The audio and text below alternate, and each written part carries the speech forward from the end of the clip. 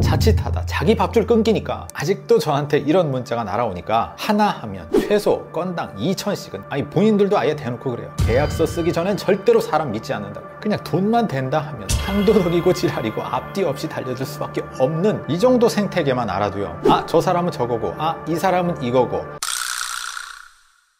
아 이렇게 문 열고요. 들어가서 뭐라고 해야 될지 좀 무서워요. 모르겠어요. 이런 분들 의외로 많습니다 특히 젊은 분들일수록 더 심하죠. 이게 다 몰라서 그렇습니다. 부동산업과 거기 종사하는 분들의 특성을 전혀 모르니까 만나기가 두렵고 막상 가서 뭔 얘기부터 해야 될지 머리가 하얘지는 거죠. 지피지기면 백전백승. 오늘은 이분들이 과연 어떤 일을 하고 어떤 생태계에서 움직이는지 한번 살펴보도록 하겠습니다. 아, 제가 이 말씀 미리 드립니다. 저도 한때는 부동산 업자였고요. 지금도 많은 업자분들과 교류 중이지만 제 경험 여전히 미천할 수밖에 없어요. 제가 말씀드리는 표본은 상당히 제한된 일부에 지나지 않다는 점, 또 표현에 있어 조금 과장이 있을 수 있다는 점, 이거 널리 양해 부탁드립니다. 오늘도 구독과 좋아요 눌러주시면 바로 출발! 한국 표준산업분류상 부동산업의 종류는 이렇습니다. 여기서 우리 단독 전원주택과 관련이 있는 것은 부동산 개발 및 공급업, 부동산 중개업, 부동산 중개 및 대리업 정도라 볼 수 있겠네요. 그래서 파생되는 부동산 업자는 총 4명. 부동산 시행업자, 개발업자죠. 시공업자, 분양업자, 중개업자. 딴 거 없어요. 딱 이분들만 제대로 알고 가자. 그럼 무서울 게 없다. 첫째, 부동산 시행업자, 개발업자. 한번 상상해 볼까요? 아무것도 없는 저 산기슭에 멋진 전원마을을 한번 짓는다고요. 그럼 가장 먼저 할 일은 마치 조물주처럼 모든 것들의 밑그림을 좀 그려야겠죠. 바로 그런 사람. 스포츠로 따지면 감독, 예능으로 따지면 PD 같은 사람, 바로 부동산 시행업자, 다른 말로 개발업자입니다. 제가 답사하는 각 마을들을 직접 만들어내는 장본인들인데요. 말하자면 저 같은 크리에이터, 그림 그리는 작가들입니다. 이들의 첫인상은 이렇습니다. 럭셔리한 대형 세단을 딱 타고 나타나서 금딱지 장신구를 막 흔들면서 품속에서 화려한 자수가 놓인 어떤 명함을 건네는데 거기에는 CND 혹은 CNE라는 듣도 보도 못한 그나저나 이분들 지금부터 말씀드릴 업자 생태계 중에 최상위 포식자 가장 높은 마진을 가져갑니다. 당연하죠. 부에서 유를 창조했으니까 하이리스크 하이리턴이죠. 예를 들면 최초 임약 가격이 100만 원이다 하면 그걸 일단 산 다음에 땅을 파고 다지고 기반시설 다 깔고 예쁘게 포장해서 200만 원에 팝니다. 바로 그때 각 공정마다 발생하는 모든 마진들이 있잖아요. 그걸 마음만 먹으면 혼자 독식도 가능하죠. 하지만 실패했을 땐 역시 모든 책임을 혼자 다 뒤집어 쓸 수밖에 없다. 둘째, 부동산 시공업자.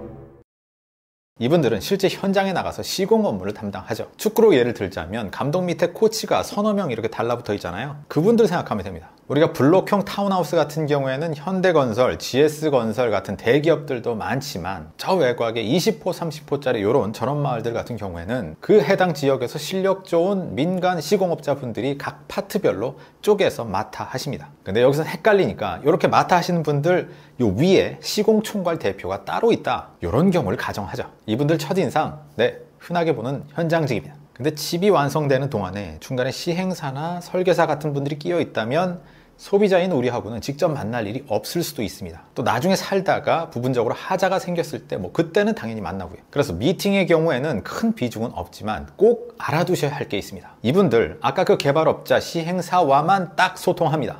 왜? 바로 그 사람들이 일거리 줬으니까. 그래서 사실상 우리가 정확한 마진폭은 아무도 알지 못하죠. 허나 추측컨대 마진율 대략 3할 정도 예상하네요. 모든 자재와 인건비를 실질적으로 이분들이 다 통제하니까요. 하지만 여기도 리스크가 있죠. 딱 두 개, 그중 하나는 돌려막기입니다. 이들은 보통 여러 현장을 동시에 막 굴리거든요. 각각의 현장마다 예산들이 딱딱 정확하게 집행되면 참 좋겠죠. 근데 아쉽게도 그런 일은 거의 없고요. 여기서 돈 받으면 가장 급한 여기를 먼저 틀어막고 또 여기서 받으면 여길 틀어막고 여기서 받으면 또 급한 여길 틀어막고 자 이러다가 어느 한 군데가 빵꾸 났을 땐 그냥 도미노죠. 따다다다다. 그 충격이 어마어마합니다. 근데 여기 리스크가 또 하나 있습니다. 바로 문어발식 외주. 외주의 외주. 하청의 하청의 재하청. 들어보셨죠? 이거 우리나라 대기업들이 하는 아주 못돼 먹은 관행인데 이제 조금만 규모 있다 하면 다 이 짓거리를 하고 앉아 있습니다. 그래서 조금 아는 분들은 대형 회사들이 시공한다 하면 오히려 더 믿지 못하는 상황이 돼버리는 거죠. 자, 이게 뭐가 문제냐고요? 하자 발생하면 누구도 그 원인을 모르고 책임도 안 진다. 핵심은 그겁니다. 자, 한 번은요, 제가 이 부분에 대해서 제대로 고발하겠다는 분이 계셔서 인터뷰도 준비한 적이 있었는데요. 몇 달을 이렇게 이어오다가 끝끝내 좌초됐습니다. 왜? 아, 그분이요. 신상은 고사하고 심지어 목소리 공개까지 거부하셨어요. 왜 그랬을까요? 그 바닥이 워낙 좁으니까. 자칫하다. 자기 밥줄 끊기니까. 결국 누구나 다 아는 업계의 공공연한 비리이자 적폐인 건 명확한 팩트인데 그 누구도 말을 못하네. 하, 화가 납니다. 화가 나. 진짜. 셋째, 분양업자. 땅이 다 완성됐다. 집이 다 지어졌다. 그 다음에 등장하는 선수, 아니, 업자입니다. 분양, 말 그대로 분할에 넘겨주는 일을 합니다. 바로 이분들부터 우리가 직접 1대1로 많이 접촉하는 사람들이죠. 빈 택지를 이렇게 쪼개 팔거나 다 지어진 집을 파는데 이따 보실 중개업자와는 또 결이 많이 다릅니다. 그들은 새 거던 헌 거던 모든 땅과 집을 다 거래할 수 있는데 반해 이 분양업자는 딱 새 것들만 할 수 있죠. 우리나라 중개법상 그렇게 정해져 있습니다. 첫인상 하, 화려합니다. 금시계, 금목걸이, 삐까번쩍 뭔가 자신의 현재보다 몸집을 막 이렇게 부풀리고 싶어 합니다. 다들 과거에 무슨 일을 했던 걸까요? 가끔 보면 제가 한 20년 전쯤에 어느 나이트에서 본 것 같기도 하고요. 역시 일부를 말하는 겁니다. 또 실장, 부장, 팀장 이런 명함을 건네는데 아무도 팀원과 부원을 보지 못했습니다. 그냥 명함만 그렇게 파는 거죠. 왜? 딱히 자격증이 없으니까. 중개업자도 아니야. 그렇다고 시공사, 시행사도 아니야. 참 애매한 위치죠. 그러다 보니까 아무래도 마진폭은 위에서만큼은 아닙니다. 근데 재밌는 게요. 이따 보실 중개업자보다는 또 많이 가져가요. 아직도 저한테 이런 문자가 날아오니까 2024년 현재도 하나 하면 최소 건당 2천씩은 가져가네요. 그러니까 아주 눈에 불을 켜고 덤벼듭니다. 이 양반들 기본금 없이 100% 수당제거든요. 하나 걸릴 것 같다. 그러면 몇 날 며칠 아니 일주일 한 달씩 매달리는 이유 여기에 있습니다. 마지막 중개업자. 우리가 흔히 아는 그분들입니다. 전원주택 토지부터 신축 분양 중개 뭐 하여간 최종 소비자에게 판매하는 거의 모든 업무를 다 하죠. 위에서 얘기한 분양업자 업무와도 많이 이렇게 겹칩니다. 이들의 주된 일은 물건을 중개하는 거예요. 소비자와 생산자를 연결하는 그 가교 역할이죠. 근데 웃긴 건요. 그것만 해서는 벌이가 안 됩니다. 다른 업체들 물건을 빼오거나 손님 중간에 가로채거나 그도 아니면 똘똘 뭉쳐서 한 업체를 죽여버리거나 뭐 이런 식의 어떻게 보면 공작질도 업무의 다른 절반이다. 그래서 심지어 이분들은 두 명, 세 명 이상 모이지 못한다고 합니다. 왜?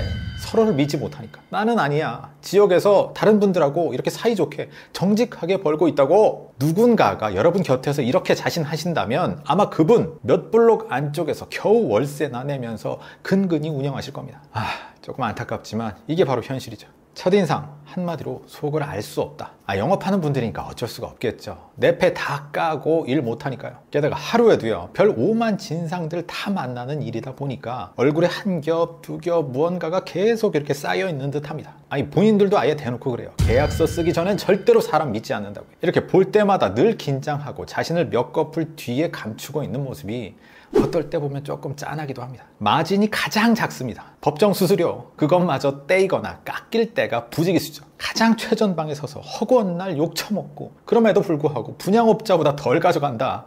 이런 현실에 본인들도 늘 악에 받쳐 삽니다. 자, 여기선 자격증이 있느냐 없느냐에 따라 나뉘는데요. 있으면 공인중개사, 없으면 그거 쏙 빼고요. 그냥 대표, 실장, 팀장. 아, 요즘엔 지역에 따라서 공인중개사면 이 가슴에 명찰을 달기도 한다는군요. 하지만 우리가 1차적으로 만난 사람들이 바로 이런 실장 내지는 팀장. 기본급 주는 것도 있는데요. 거의 8, 90%는 없습니다. 그냥 건 by 건이죠. 자 여기까지만 들어도 대충 퍼즐이 맞춰지죠 생태계 최하단이야 마진 제일 작아 기본급도 없는 100% 인센이야 거기다 최전방에서 맨날 개무시당해 그냥 돈만 된다 하면 상도덕이고 지랄이고 앞뒤 없이 달려들 수밖에 없는 그런 위치에 있습니다 어떠신가요? 개발, 시공, 분양, 중개업. 이제 조금 감이 잡히시나요? 이 정도 생태계만 알아도요. 분양 사무실, 중개 사무실 문 딱 열고 들어가면서 아 저 사람은 저거고 아 이 사람은 이거고 아 현재 이렇게 흘러가는구나. 그렇다면 아무래도 여러분 생각 하시고 싶은 말씀 다 하고 나오는데 꽤 큰 도움이 되겠죠. 제가 다시 한번 말씀드리지만 여기 등장한 업자분들 그 특징과 첫인상 이런 것들 제 개인적인 경험의 하나입니다. 모든 업자들이 다 그렇다는 건 아니라고 말씀드리고 싶네요 혹시 여러분이 경험한 업자들은 어떤 분이셨을까요? 댓글로 알려주세요 그럼 초심자분들께는 많은 도움이 될 겁니다 그럼 이번 영상 여기까지 할까요? 언제나 여러분들의 진정한 독립을 기원합니다 주거 독립 만세!